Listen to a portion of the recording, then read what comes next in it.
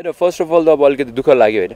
अब जुन यत्रो वर्ष क्रिकेटलाई दियो र बिना कारण अब यो इस्युको मुद्दा लिएर र विभिन्न कुराहरू अब निकालेर जसरी गर्नुभयो त्यसले चाहिँ अलिक गाह्रो भएको थियो होइन पर्सनल्ली होइन। किनभनेदेखि कहिले पनि बोर्डको अगेन्स्टमा जाने अथवा बोर्डलाई निचा गराउने यस्तो कहिले पनि गरेको होइन। त्यो गर्ने भइदिए हामी अब अरूहरू पनि बाटो अप्नाउँथ्यौँ होला जान्थ्यौँ होला खेल्दैनथ्यौँ होला होइन। तर यत्रो वर्षदेखि केही नहुँदा पनि खेलिरहेको छौँ भनेदेखि अब अहिले एउटा रेस्पेक्टेबल छ होइन। त्यो हुँदाखेरि चाहिँ अझ एड्रेस हुनु पऱ्यो भन्ने कुराले गर्दाखेरि अरू अरू आरोपहरू लाएर गर्दाखेरि चाहिँ दुःख लाग्यो होइन। त्यो नै अब कसरी सेल्फ रेस्पेक्टको एउटा आत्मसम्मानको कुराले गर्दाखेरि चाहिँ अलि मलाई भनौँ न अलि अप्ठ्यारो परेको थियो होइन।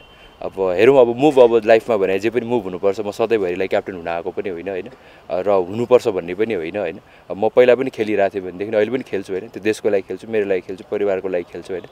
सो त्यो नै मेन एम हो। होइन उहाँहरूले के भन्नुभएको छ भने अब मेन त कारवाही फिर्ता भनेर जुन चारजना खेलाडीलाई छ महिना वर्गीकरणको कुराहरू गर्नुभएको छ र त्यसपछि चाहिँ जुन छुटेको हामीले मेन स्पेसली हामीले उठाएको कुरा चाहिँ तिनजना खेलाडीहरू छुट्यो होइन? ओमान सिरिजबाट।